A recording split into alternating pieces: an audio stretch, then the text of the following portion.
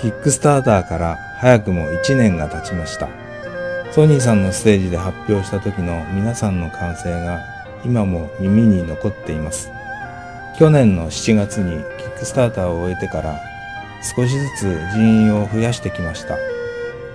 年末にはシェンムー2のキャラクターを動かして簡単なバトルや会話などのテストを UE4 で始めました。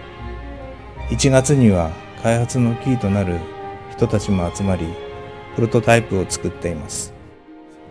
プロジェクトが実質的に動き出してから6ヶ月が経ちました。今は顔の表情やバトルなどで魅力的な表現ができるようになって、スタッフから歓声が上がることも増えてきました。良いゲームになる手応えを感じています。バッカーの皆さん、今後ともサポートの方よろしくお願いいたします。